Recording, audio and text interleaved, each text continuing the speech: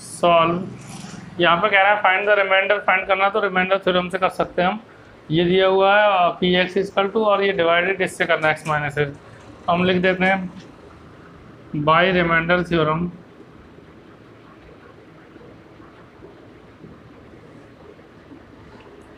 X minus A equal to और zero लोगे, और ए को उधर ट्रांसफ़र करोगे तो क्या होगा ए इजकल टू प्लस के वन आ जाएगा। तो इसको पुट कर देंगे एक्स की जगह ठीक है? तो अब क्या आएगा इसलिए? ये जो इक्वेशन है इसमें यहाँ पे ये रख देंगे वैल्यू एक्स की power three minus A X square plus six X minus A तो यहाँ पे ए रख दो. ए की पावर थ्री माइनस ए और यहाँ पे भी ए रख दो.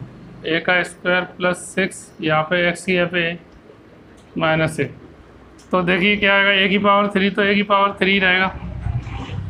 कोई संख्या तो है नहीं जो इंटू हो जाएगा. ठीक है? अब ए और ए स्क्वायर और ए का क्या होगा? ए की पावर थ्री हो जाएगा। ठीक है? फिर plus six A minus A देखो ये प्लस माइनस के कट कैंसिल हो जाएँगे। सिक्स ए में से गया फाइव ए यही आंसर है। नोट कर लें सर